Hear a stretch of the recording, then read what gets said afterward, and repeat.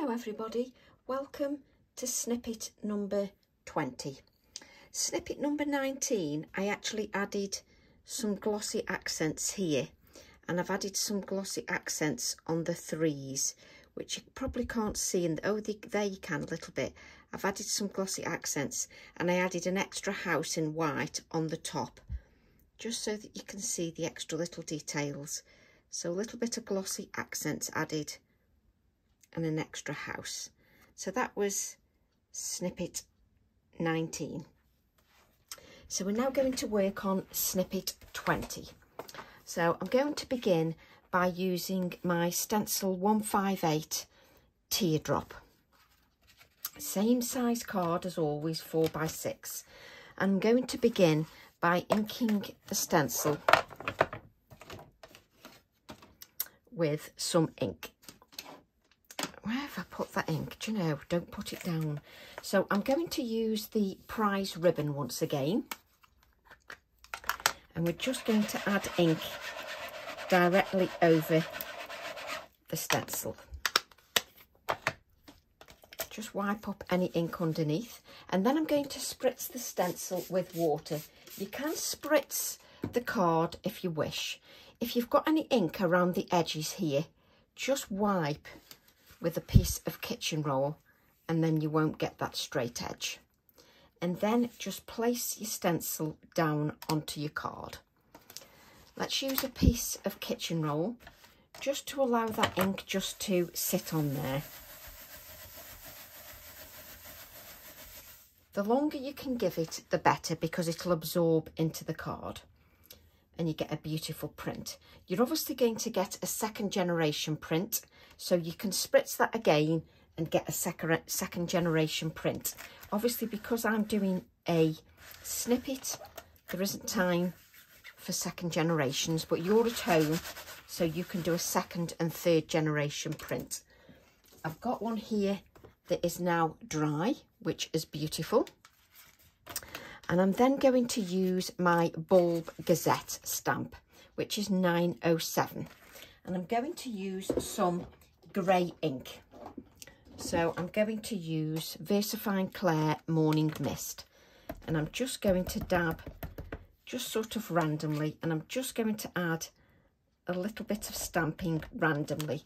And you know how I've said to you before to sort of bend the stamp so it just is a little bit more random stamping so you, it's just a little bit more random and it works beautifully when you've done some stenciling underneath if you stamp quite randomly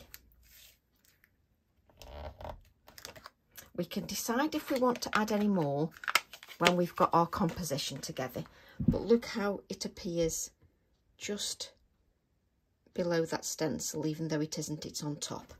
Okay. What I want you to do then is I'm going to take my violet stamp, which is stamp 574. And I'm going to stamp this three times with VersaFine Clair black ink. Just making sure I've got the right one. And I want you to ink this and stamp it three times. You don't need to see me stamp it three times, but it is nice to see the image stamped out. Okay, so there's our beautiful violet. And what I want you to do is cut out three of your images. I've just cut out parts of the image, one full one, a little bit of one, and part of one. It's entirely up to you how much you cut out of that. Then what I'm going to do is I'm going to use stamp set 403 and I'm going to use the thimble. could I get that word out? So I want you to stamp the thimble or whatever you're using. And again, that's going to be used with the black Nocturne ink.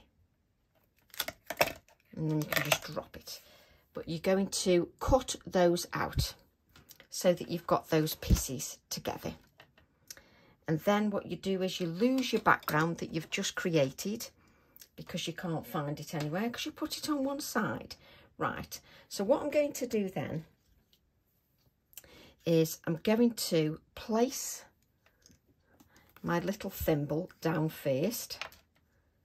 Give that a little, don't give it too much dimension. Remember, it's got to go in to your little journal. What it hasn't, some of you might not be doing that. So what I'm going to do is just stick maybe two of the flowers. I don't need to stick it all down because I like some movement. So let's just... Mm, yeah. So I'm just... I haven't stuck... I'm bending here the card, that's it. So I haven't stuck all the flowers down. I've just stuck two of the flowers down. Let's bring this down here. Then what I'm going to do is take the other piece that I've got. And again, I'm just going to just add a little bit of adhesive to the flowers. I'm not adding it to the finest parts because they will stick down with the adhesive that's at the back of my quirky pot. And then I'm going to take this little one that I've just cut out part of. I've literally not cut it all out. I've just got one leaf and I can just push the stem. There we go. That's it, just so that you can see. We've got that on there. Just gorgeous. And what we can do is we I've cut out a couple more leaves and I can just add a couple of the leaves if I wish just to give it a little bit more fullness to the design.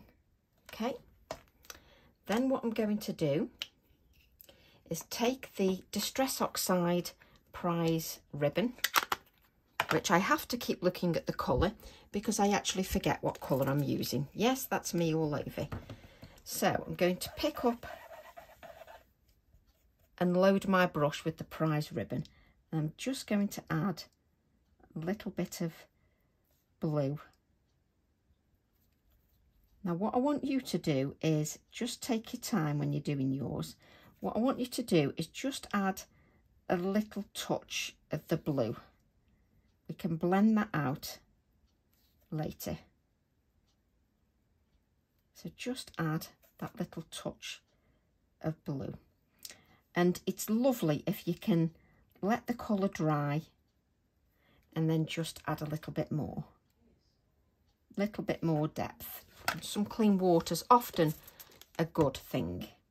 So you can just blend that colour out.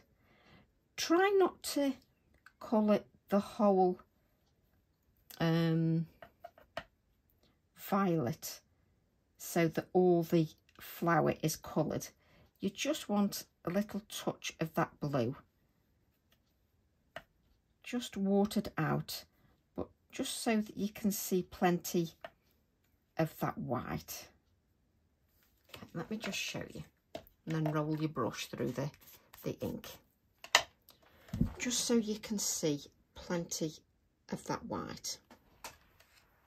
I'm just going to then add, which we're hoping it's here, just a little bit of grey. Just hold that still, just a little bit of grey underneath my thimble. Let's just clean that brush. There we go. And just bring that down a bit.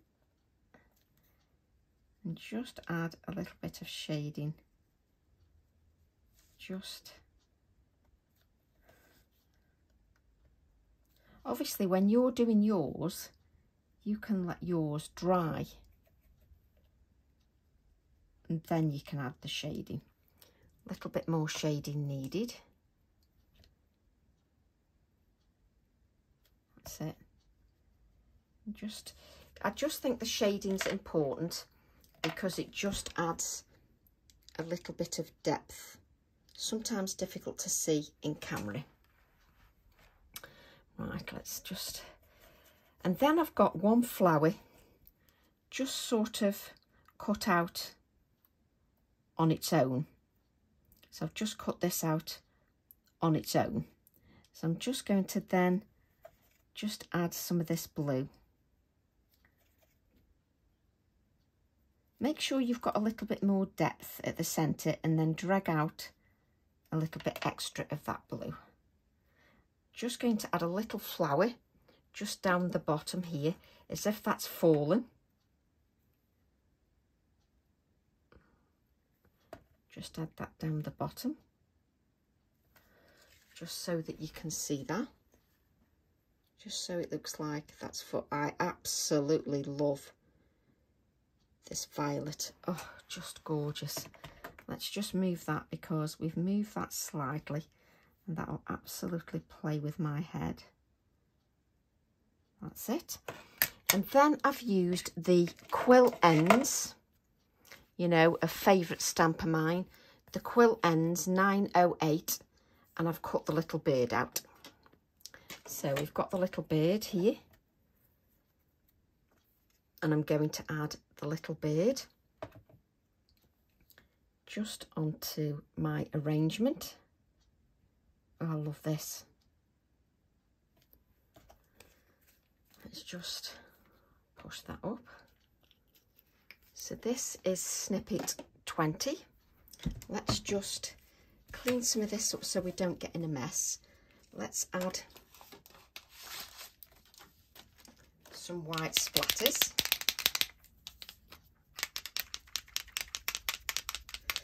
Sometimes when you look at things in real life, they're so much better.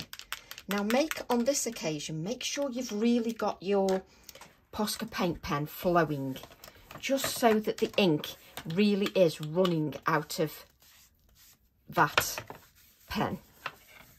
So make sure it's really running out of that pen, just so that you can see.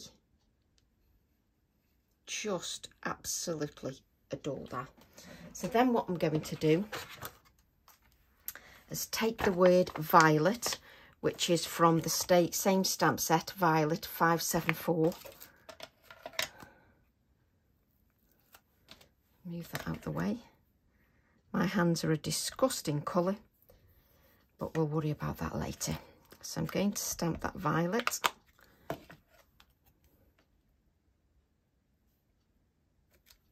And we'll just cut that out.